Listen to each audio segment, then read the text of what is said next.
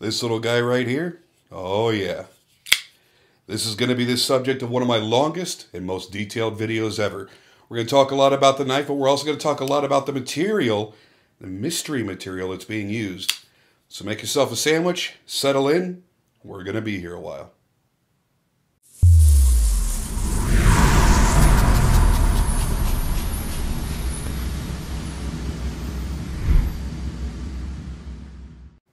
Hey guys, Jim here. Welcome in once again. Today we're going to be taking our time. I'm going to do something a little bit different than I normally do in the videos. I'm going to try to keep this intro fairly short because what we're going to be doing is we're going to be talking about a very, very special knife.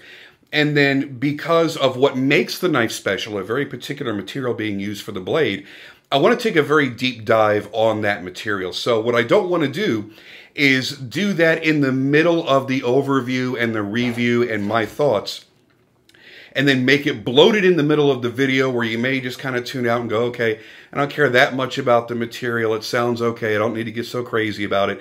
And then you might miss things that I might wrap up with toward the end. So I'm going to give you the specs and my thoughts and the review of the knife up front. And then we're going to segue over into a very deep dive into the Terravantium material being used for this blade. Now, I've looked all over YouTube. The few people that have reviewed Terrain 365 knives have getting a given you a little bit of information about dendritic cobalt. They really haven't done a deep dive. So I want to be the guy that comes out here and gives you all the information that you need. When it comes to choosing a knife, you know, when, when I do my videos here, it's not about just shouting specs at you. You can look up specs on a damn website. You can hear the specs on 35 other reviewers' videos because a lot of them just give you specs and then that's it. What I try to do is give you all the reasons why I love the item in front of me or I don't love the item in front of me. Not to influence you to buy it or not buy it, but so that you have all the information that you possibly need to make up your own mind. That way, if you've chosen that I want to buy this knife and you get it, you're probably less likely to have buyer's remorse. You're going to know what you've got. You're going to know what I felt when I held it, how I felt about the weight and the size and the balance and the blade grind and the edge and all that kind of good stuff. It gives you as much fuel as you can possibly have for ordering something online because let's face it, it's a little sketchy ordering shit online.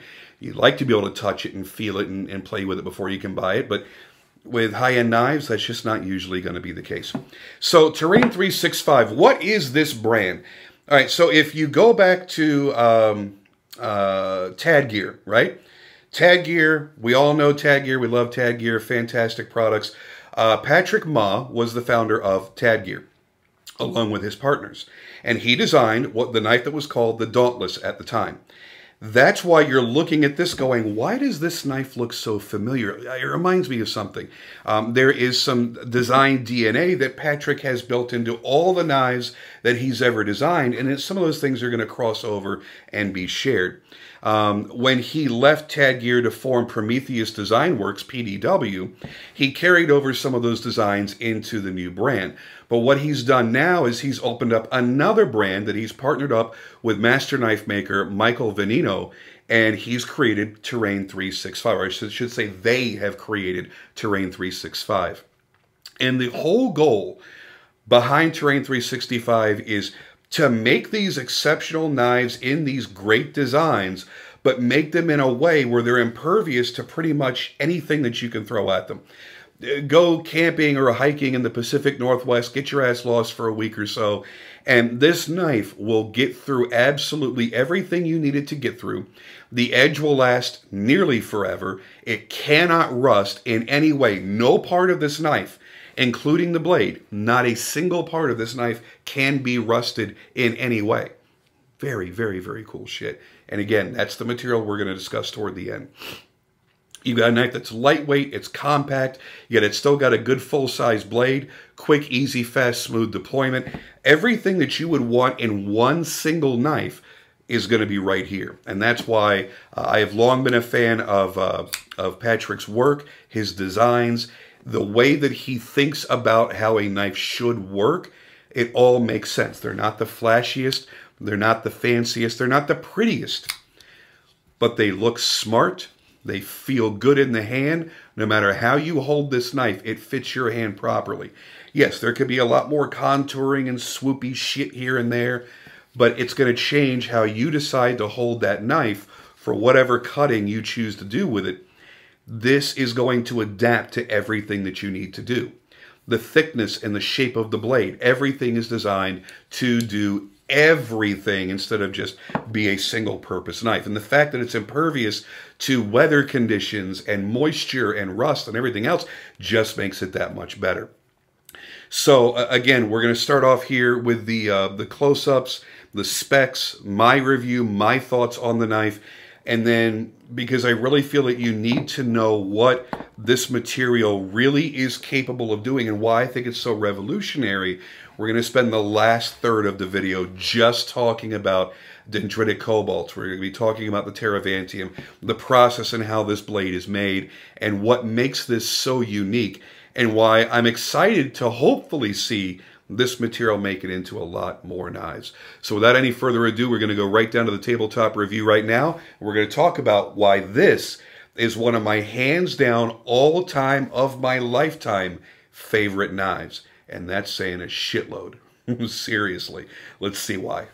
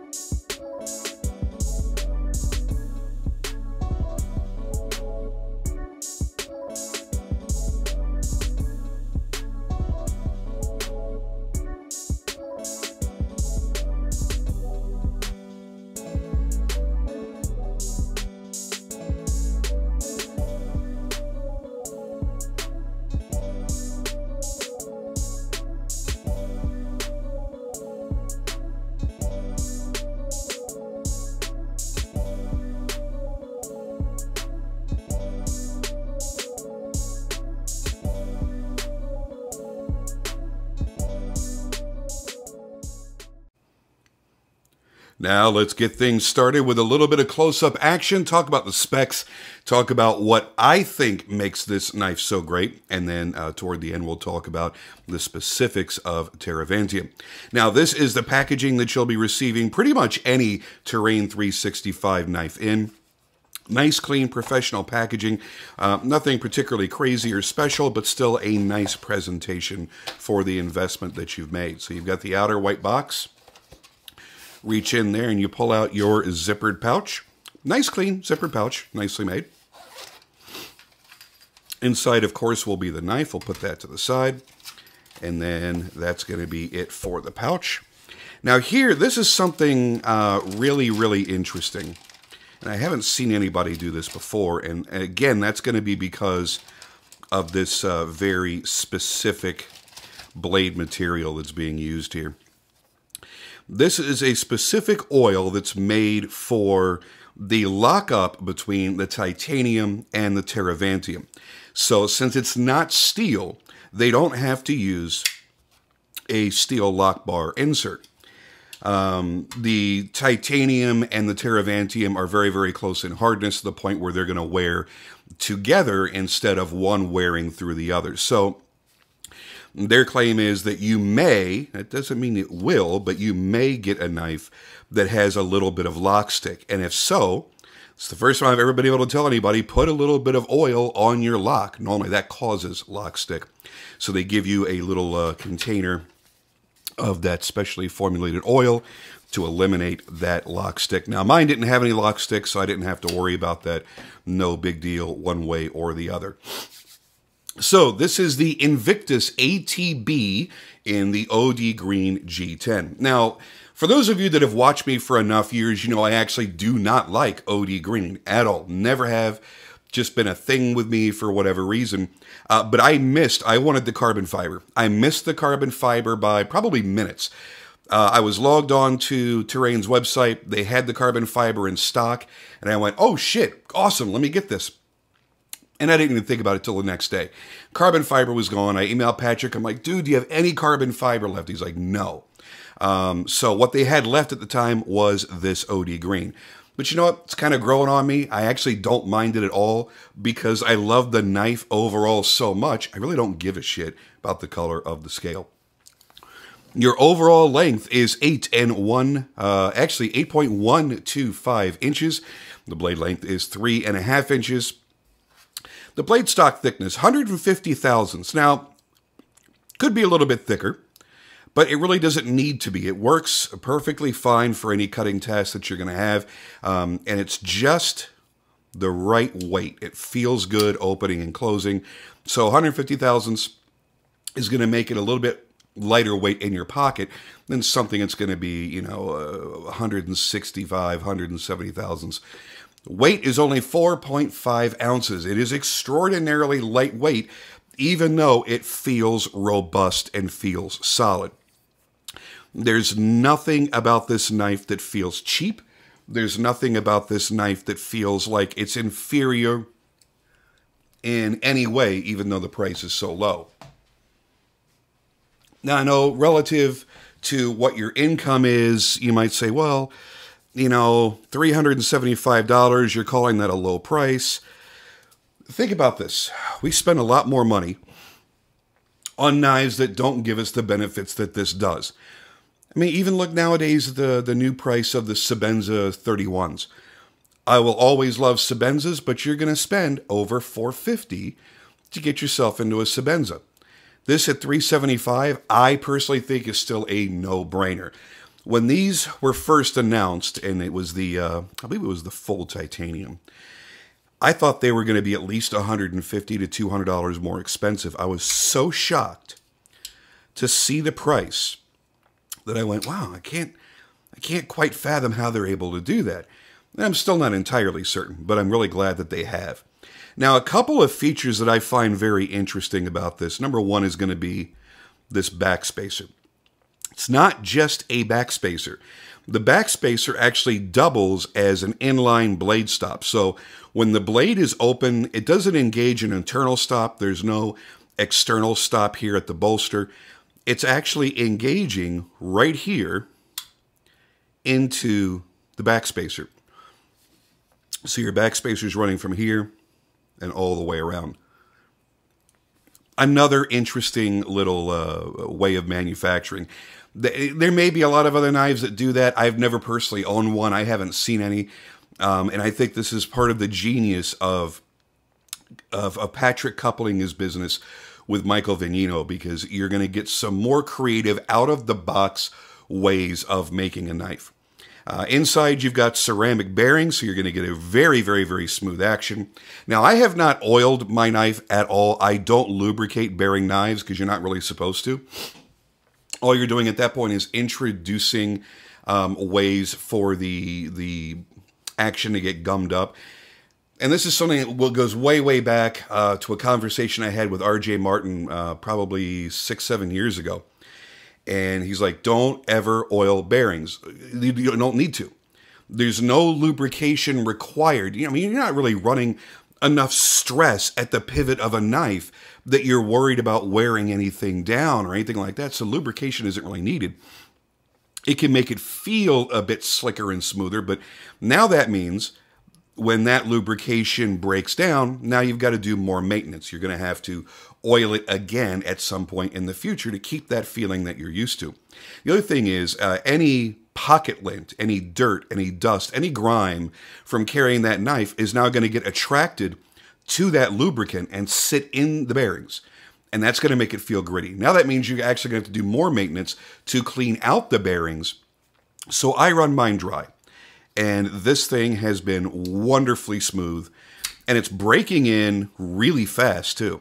When I first got it, it was a quite drop shutty. which again, that is not an indicator of quality in any way. It's just a way for someone here to demonstrate the smoothness of a knife when you can't touch it or feel it yourself. Uh, but it wasn't quite drop shutty. Now it is, and it's it's a wonderful smooth action. Feels great, sounds great. Um, so I have no need to put any lubrication in there whatsoever. So that goes along with the whole formula of making this knife completely rust proof. So your bearings and your detent are ceramic instead of steel. Now, the whole idea between, uh, excuse me, behind Terrain 365, it's an intercompany collaboration with Prometheus Design Works. Since Patrick Ma owns both PDW and Terrain 365, um, when he co-founded it with Michael Vagnino, he really did something that I feel uh, was was quite smart by getting someone in there that understands his philosophy behind making knives and has also had a really wonderful success at making their own knives. Mike is is just he's off the charts talented. Um, thinks like an engineer, works like a knife maker, uh, and creates wonderful functional works of art. Beautiful knives, but also very, very, very functional in the forefront. So those two together, I think, meld very, very well. Um, so again, their goal is to make knives that can be used in all conditions. So the use of the dendritic cobalt allows for this blade to be completely non-ferrous. So that means it's absent of all iron content. There is no iron in that blade whatsoever. So that means it's impossible to rust or corrode it. They trademarked the name Terravantium uh, for this particular uh, material. And because of their manufacturing process, it's different than other companies that have used dendritic cobalt to the benefit of the edge holding capability. And again, I'm going to get into that a little bit later on. I don't want to get too lost in the weeds on that right now. I just kind of want to give you an idea of how this knife is made and why I love it so much first. One of the details that I really like is right here in the uh, lock bar. No matter how you engage this, your thumb just jumps straight into those grooves. Got nice traction. It's got nice solid lockup. Not too early, but certainly not too late. The ergonomics on these knives are fantastic. And it sounds funny to say that because it is such a straight design. There's nothing uh, particularly crazy or fancy about it. But the way that it fits in your hand really is perfect. Yeah, the pocket clip's a little bit long. Uh, that's not really that big of a deal to me. Um, I don't care that it's a deep carry pocket clip. It doesn't serve any purpose. Deep carry pocket clips are just bullshit. But for those that really have to have a deep carry pocket clip, um, it's not the deepest carry, but it is pretty damn deep carry. Another thing that I like is that they have run a channel through the back spacer. And what that allows for is so that the blade can sit down as far into the frame as possible without the edge hitting the inside of the back spacer and damaging that edge. They've done a really good job of bringing that tip all the way down to the uh, the very end of the frame without your finger catching it. And because you've got that full back spacer, there's no way for your finger to access that edge as well. You've got the hidden lanyard post right back here. So for those that don't like lanyards and they don't want the look of the design uh, interrupted by a big hole back here, you've got your clean design all the way around, completely uninterrupted. But for those that may want to put a lanyard on there, you have that availability and it's very, very easy to do. Um, you got a little bit of jimping back here on the back spacer and a little bit of jimping on the crown spine. And while I love having the crown spine, it is much more comfortable. Um, the jimping is nearly useless. That's the one and only nitpick I have on this knife is the jimping doesn't do anything. It just feels like you're running your hand um, up and down a zipper. That's it. Um, some people, I think, might have an issue with the way that the tang of the blade comes back here to meet up against the backspacer because if you're trying to slow open it and your your fingers right here, you could actually pinch your skin. Doesn't affect me because I'm a flicker. I'm not really a slow opener. The way this detent is done is as soon as it breaks, it kind of wants to push the blade out anyway. So I'm always going to be a flicker, so that really doesn't affect me. Uh, but if you are a slow roller, uh, do keep that in mind that you want to hold the knife in a way that you don't really pinch your skin right there. That's really about it. And that, that really is just a byproduct of having the tang meeting the back spacer as your blade stop and by having that section cut away. If that section wasn't cut away, it really wouldn't be an issue at all. I like the nice clean pivot on there. Nice and simple, nothing crazy. Um, the cabochons that are set into the thumb studs do glow in the dark. I'll give you a quick little zip, zip, zip on that. Turn off the lights. And yeah, they glow. And we, we all love shit that glows, right? Glowy stuff is cool. Not, you know, uh, the most practical thing in the world. You're probably never going to have to uh, rely on that because you do have to charge it up. But here's the thing: if you know, let's say you're leaving the tent, you're leaving the camp, uh, the, the campsite. Uh, I don't know, you're going to go take a shit in the woods, and uh, you know you're heading out there into the dark, and I don't know why you would use your knife at some point while you're out shitting in the woods. But let's just say that you're going to do two things at once. You're going to go take a shit in the woods, and you're you're going to go do something with your knife. Um, you can just very quickly uh, use your flashlight, charge up your thumb studs, throw it back in your pocket. And that way, if uh, while you're copping the squat, your knife were to slide out of the pocket, you can look down and you will see that little glowing cabochon and you will be able to locate the knife. That's man, I'm I'm reaching here, but that's about the only practical purpose uh, that I can think of for for having a rechargeable glow in the dark thumb stud. So just just give me that one, okay? Just give me that one. As far as the balance and the feel, it is, again, one of the most perfectly balanced knives uh, that I've ever owned. It feels fantastic in the hand. It really does complement anything that you could want to do, any kind of cutting task that you've got, this is going to do it. Any which way you want to hold the knife, it fits well in your hand. Um, if you've got skinnier fingers than me, then you can choke up on that forward finger choil. Uh, me, I would end up probably cutting myself right there at the heel of the edge. But again, um, it's, something that I'm aware of, so I would be avoiding that. I really wouldn't have too much of a concern. But for those that may be wondering, yes, that is it. Um, I love the way the blade profile comes out. Um, I'm a big fan of this overall look, and I always have been, going back to the Dauntless. Uh, going to the original Invictus models that I've, uh, have reviewed over the years, I'm a big fan of spear points. Matter of fact, one of the knives that uh, uh, one of the fixed blades that I make myself, um, I designed a, uh, spear point this year, and I've designed a spear point folder to come out next year. Um, it's just one of those extraordinarily useful blade shapes.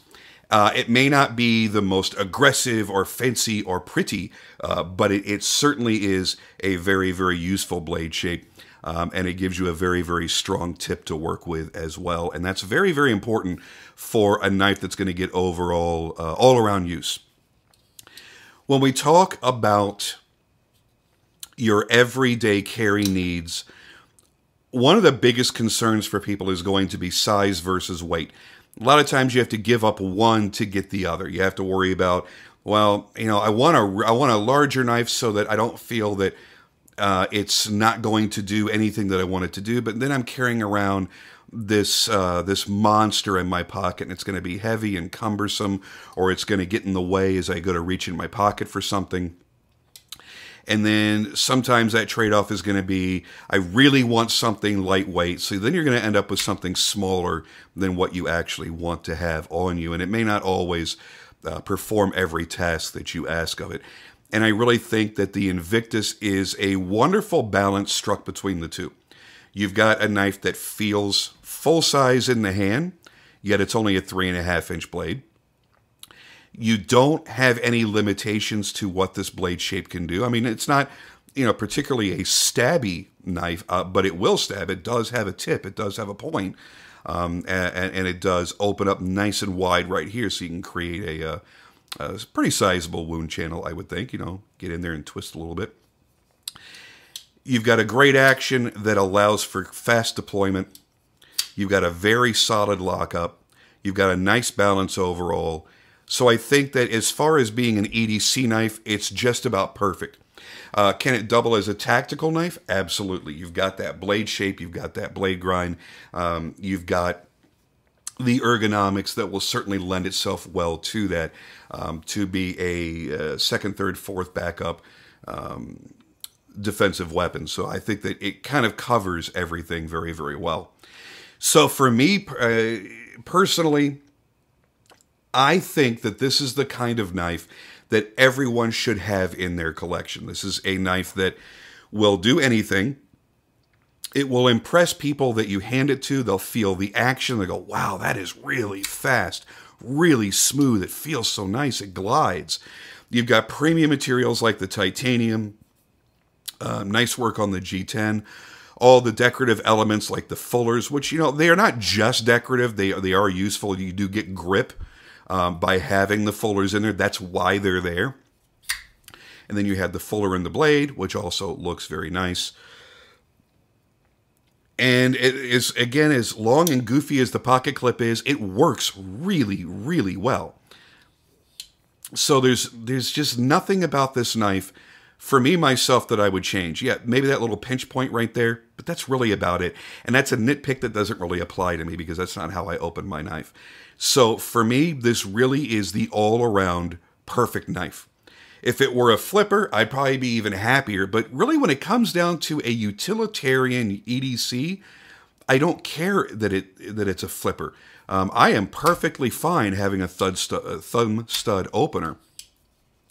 And you know what? A, there's a possibility I may even prefer it now that I think about it. Um, and it just feels somehow more utilitarian that way maybe I'm alone on that. Let me know your thoughts down below. Um, now let's talk about what makes this knife so special. I guess I should wrap up my thoughts on the knife. If you're on the fence, if you're looking at it going, well, it looks pretty cool. Um, I don't know if I could justify 375. Is it really worth doing it? I would tell you, hop off the fence. Absolutely do it. Do not hesitate. Get one again, I go back to like that Sebenza frame of mind. It's one of those knives that I truly believe everyone needs to experience, everyone needs to have in their collection. Um, they have another model that's uh, based off a Loveless shoot. That will be my next knife, no matter what. I, I don't care how long I have to wait for them to come back in stock. The design is absolutely unbelievably sexy, and it's everything this knife is. I I am completely obsessed with that knife. I have to own that. It's not as classic as this is. So I would say if you were if you had to look across their entire lineup and choose one, it's gonna be the Invictus. Uh, and I like the ATB. I like having the bolster. They do make a version that's all G10 on one side, which I'm going to have to assume is uh, you know quite a bit lighter. But I like that handsome look of a bolstered knife.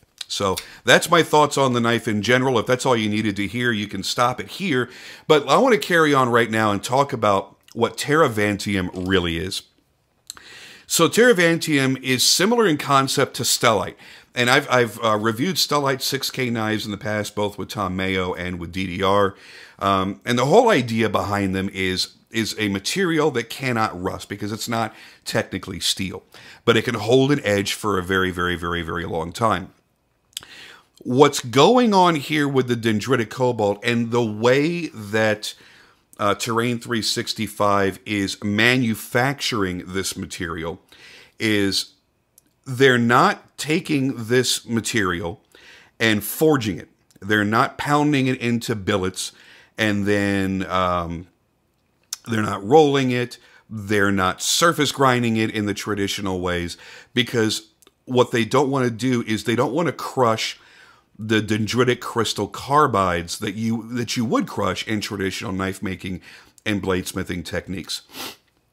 What you've got is a mixture of cobalt, chrome, nickel, tungsten, silicon, iron, and carbon. So all these things that are in here will allow it to perform similar to steel, but it's non-magnetic. Now, for most of it, that's not a big deal. You don't really care about a knife being magnetic or not. But let's say you are an outdoor adventure person and you are keeping it in close proximity to your compass. It's not going to interfere with your compass. Think about uh, maybe you're storing your, your knife in with your compass in your backpack or in your pocket or something like that. Um, again, I'm reaching there. I'm not an outdoorsy person. That's about the only thing that I can think of where being non magnetic would be a major benefit. So anyway, the blades, as I mentioned, aren't made by traditional bladesmithing techniques. They're not forged. The blades are cast. Now, in other alloy applications, let's say like, uh, you know, building racing engines, we look at forged parts as being superior to cast, right? Because of the strength. But that's because they need a great deal of strength that's simply not required in a knife blade. So it's not really a negative for this application. When you deal with anything in this realm, um, you're always looking at a balance between hardness and toughness, right? So to get one higher in the spectrum, you lose on the other side. So if you want hardness, you've got to give up some toughness. Um, if you want toughness, you've got to give up some hardness. And this applies to gemstones, it applies to steels, everything. So for superior edge retention, you generally want hardness, right? But then you lose some of the toughness that can make the edge of that blade brittle. It can more easily chip, it can more easily crack. So to reduce chipping and cracking so that you can, you know, hack and chop and stuff like that better, um, you'll end up going in the other direction and losing a little bit of hardness. And that just means you'll have to resharpen your edge a little bit more often but this isn't used as a hard use chopper. So the goal here is going to be extremely long cutting ability. Dendritic cobalt will cut with a better edge for significantly longer than any known super steels that you can think of. And that's because of the way that the edge is constructed. Now, I want you to think about, um, and you could do some research and just do a quick Google search and you'll find some images. If you Google, if you look at the edge of any high end steel knife, right? Get a microscopic view of that edge. And there's always going to be little micro serrations. You can look at the edge of a knife, even these, you know, mirror polished, wicked edge blade knives, and it looks like it's a completely smooth mirror like surface to the naked eye. But when you get under a microscope, you'll see that there's still a little bit of sawtoothiness to it, these little serrations. And we just simply call them micro serrations. That's how you cut shit. It's those it's that saw-like motion when you cut through something, those little serrations are actually slicing through as you're moving through the material. That's how a knife cuts. What you've got here, I'm going to call the main component of this material a matrix. And that's moving away from, you know, knife making into more sciency kind of shit. But this this is a soft matrix of material that within that matrix holds these crystalline structures. Okay, and the way that they're laid out allows for them to make this crisscross saw blade section. If they used traditional knife making techniques by forging and grinding and everything else, they would be crushing those crystals and mashing everything together and creating um, a suboptimal sawtooth edge surface, if, if that makes any sense to you.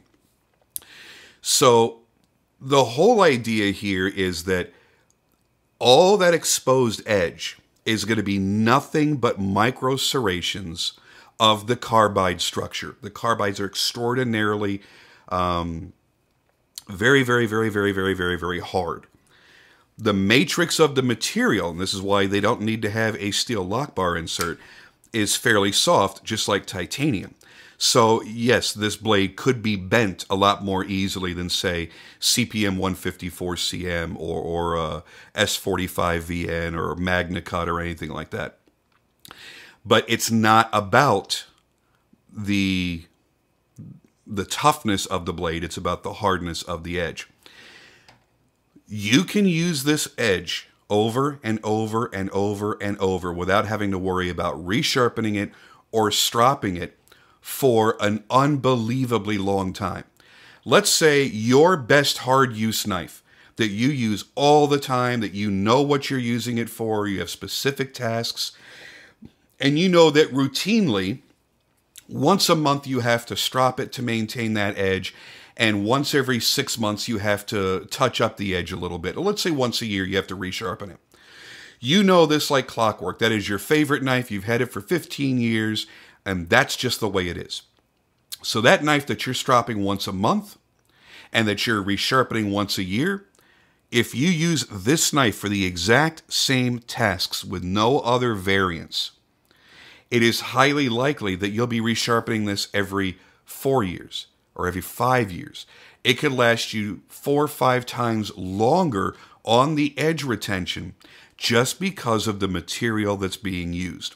Then you add on top of that the fact that you cannot rust it. As a matter of fact, Terrain 365 gives you a lifetime guarantee that no part of this knife can rust. All they tell you to do, if this is in a saltwater environment, you just want to rinse it off with, with cool, clean water, cool, clear water, I should say, and that's it. And, and that just keeps any mineral deposits from the salt water from depositing in the in the pivot area in the bearings. That's it. That's all you got to do. It's as simple as that. Now, because this matrix, this alloy, is softer than most any other stainless steels that you're going to find in a high end knife, uh, you know, while that means it's less tough, remember it's a knife. It's not a pry bar. It's not a chisel. If you use it as intended, it's going to outlast pretty much anything that you own. If you really need a pry bar or a chisel, carry a little pry bar or a chisel. Don't use any knife for that. Don't use the tip of your knife as a fucking screwdriver. That's not what they're designed for. So if you're using this knife for what it's designed for, which is cutting shit, you're going to be extraordinarily happy with this. Um, they also, from what I understand, perform extremely well in that one medium that we all tend to cut often, and we know that it's extremely abusive on blades cardboard. Um, I've talked to a few people that have cut down cardboard with their uh, their Terravantium blades, and they're like, it, it's kind of crazy. It just seems like it never wants to dull. It just keeps performing the same way. Uh, now, it's a little bit thick behind the edge, uh, and because you do have uh, this this saber grind, it is a little bit of a short grind. Um, you know, if it was like a three quarter height grind, then you could have a different um, angle on the bevel. Uh, so it is a little bit thick. It, it is going to be a little harder to push through when you get to the uh, the really thick materials. But again, it's it's it's like a laser. It just wants to cut and cut and cut and cut. So utilitarian purposes, this knife is going to do very very well. Um, in a perfect world, yeah, I'd love to see it go down a little bit thinner uh, behind the edge, but again, it's not really that big of a deal as long as the knife does what it's supposed to do. When I talked about it being uh, useful as a tactical knife, if you go back to um, reading Bob Terzuola's book, you know, when he talks about how what makes a tactical knife a tactical knife. And I still consider this to be more of a utilitarian knife, just to put that out there. Um, but it does fit the role of a tactical knife as per uh, Bob Terzuola because of the way that this blade is actually shaped. Um, it does come up nice and thick back here. You've got a blade that's designed for cutting, for slicing, uh, also can be used for stabbing, and you've got that reinforced tip, so it's going to be tough.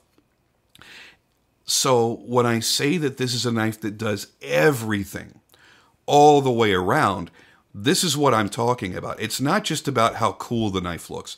There are so many great knives that um, that are out there. There's so many great knives that I've brought out to you here on my channel that you can just go, that's just a cool ass looking knife.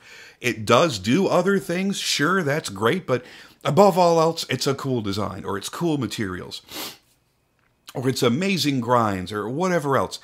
This is a knife that you know, if you look at it in pictures, you might not, you know, it may not bowl you over you may not go, wow, that's the most beautiful knife I've ever seen. There is a handsomeness to it. This is, this is like a Jeep. You know, there's a certain handsomeness to a Jeep Wrangler. It's not a beautiful vehicle. It's not, you know, it's not a friggin' Lamborghini or an Aston Martin, but there's a rugged coolness to it, right? And and I think that's where this appeal is visually.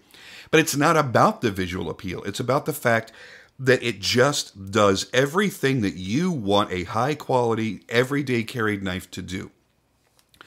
This is going to be one of those knives that's going to boot a lot of other knives out of your pocket. You're going to go to reach for your knife for the day. You're going to flip this and play with it and go, you know what? This is the one I want to carry today. I thought I wanted to carry that knife over there or that knife over there, but now that I put this in my hand, oh shit, I need to carry this. And it's got that fidget factor to it. It feels really great as the action goes back and forth. It's just, it's satisfying on so many damn levels. And I know it sounds like I'm gushing, and, and perhaps I am. I am a big fan of Patrick Ma. I am a big fan of of everything that he's done so far. Um, but it's because he's done it right. And I know he's gone through a number of different manufacturers over the years since he founded uh, PDW. And I don't really know why. I don't know if he ever had quality control issues or if it was time frame issues or cost. I have no idea why. But I really feel that where he has landed you have the perfect balance of a fair price on a high quality, very, very, very well built knife where the mechan- the design was worked out perfectly by Patrick, where the mechanics and engineering were perfected by Michael Vagnino, and the manufacturing partner that they're using is absolutely perfecting the manufacturing. Oops, excuse me, sorry, I didn't mean to uh, bump the camera there. They are perfecting everything about this knife. So when I say that this is one of my all time, lifetime favorite knife designs, that's what I'm talking about. It's a knife that is well thought out, it's well executed, and leaves you where you don't desire anything from this knife. Would I love to see a, a collector's variant made someday, like a collector's grade? You know, maybe it was titanium bolster with you know a pearl uh, scale or it's mokuti or something like that. Sure why not? I think that would be pretty cool. But again that's that would just serve to be a uh, a fun little thing. It wouldn't there's no practical purpose to it. I love the bead blasted finish that's on here. Again, it has that utilitarian kind of look and feel to it uh, based off of that finish. Look at that. Just gorgeous. Anyway, I'm going to end it here because we are we're getting ready to hit 45 minutes here in a couple of seconds, um, and I don't want to drag it on for too long. But I want to make sure that you understood that this is not a blade that's made in a traditional way in a traditional material. Um, by casting it, that's one of the biggest differences. Uh, by casting that blade instead of forging it, um, instead of grinding it down to its shape, instead of grinding it down with its bevels everything being cast. Um, I, I, had not heard of anything like that in a high end knife previously, so I thought that was really interesting. the The whole way that this concept comes together, I find to be very interesting. And if for nothing else, maybe you're not a hard use cutter, maybe you don't care that that edge will last you three, four, five times longer than any other edge and any other blade material that you own. maybe you don't care about any of that Maybe you just want a conversation piece. Maybe you just want that knife that you can pull out and tell your buddy, yeah, man, that's not steel. That's not any kind of steel. There's no iron in there. It can't rust. It's anti magnetic. It's anti everything. And then have a conversation based off of owning something that is wildly different than whatever your buddy has in his pocket. There's so many reasons that we make the decision to buy particular knives. Sometimes it's aesthetic, sometimes it's for its usefulness, its overall design, its blade shape, its blade material, its uh, manufacturing process. This is one of those knives that I think if you go down any any checklist, it's going to check off all the boxes. Nice, clean, handsome design, high-end materials, extreme high quality and workmanship, fit and finish, longevity of the cutting edge. I mean, it just goes on and on and on and on to the point where you look at the knife and go, why did it take me so long to buy one of these? And that's exactly where I was. This brand's been around for a couple of years. The Invictus, this model within this brand, has been around for a couple of years with Terravantium. And I've always been a little bit curious. And every time I would see them post up, I go, well, you know what? Maybe on that next drop, I'll do it. And I've never, ever, ever had the right timing. And I got very lucky this time. I'm very, very fortunate to have this now. Uh, and as I mentioned, I'm, oh boy, I am getting that. I'm getting that other one. I don't care what I have to do. If I have to beat somebody over the head um, and and uh, and get one, I'm going to because now I want again. I've got my my perfect everyday version. Now I want a Terravantium that's a little bit fancier, and it, it harkens back to an, a really incredible uh, design and designer as well. So there again, more than one reason for wanting to have a specific kind of knife. Anyway, I'm going to wrap it up here, guys. If you have any questions whatsoever or feel I didn't cover anything uh, thoroughly enough when it comes to the dendritic cobalt, uh, how the saw teeth work, the uh, the serrations of the carbide structure and the longevity, uh, please feel free to uh, put a, a, note down below. I'll do my best to answer it. You know, because a lot of times, you know, I'm doing this on the fly. I'm not reading off a script, so a lot of times you'll you'll kind of get talking and you may forget to make a point that you really wanted to make before you hit record. So uh, one of those things could possibly happen. But if you have any questions, uh, please feel free to let me know. And uh, with that, I'll see you guys on the next video.